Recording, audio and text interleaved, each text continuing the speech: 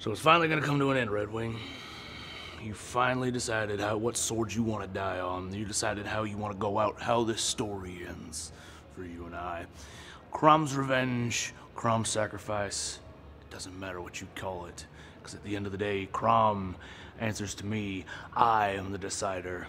I am the be-all, end-all of everything. And come March 16th, I will personally deliver you to your god of sacrifice, Crom.